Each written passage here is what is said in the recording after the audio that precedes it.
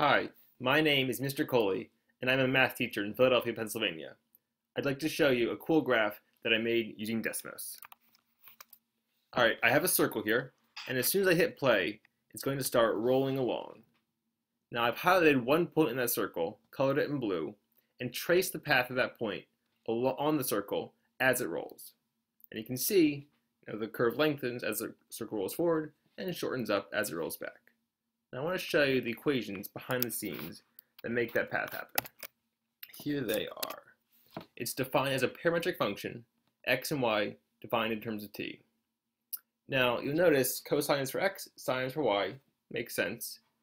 And inside I have a negative t because the circle is rotating clockwise, and I have a negative pi over 2 because the point starts down, uh, facing towards the ground. I wanted to find the arc length of the curve, so I used my formula and got a length of 8. I also wanted to find the point when, the, the time when the point was traveling the fastest and when it was traveling the slowest. Using calculus, I found the maximum speed at time t equals pi, and the minimum speed at time t equals 0, and t equals 2 pi. Let me show you back on the graph where those two points are.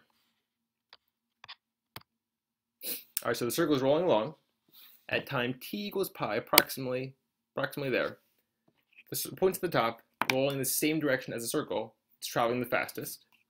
At time t equals 2 pi, right about here, the point is traveling the opposite direction of the circle and is traveling the slowest. So it makes sense. Um, if you'd like to check out the graph for yourself, please follow this link. Thanks for watching.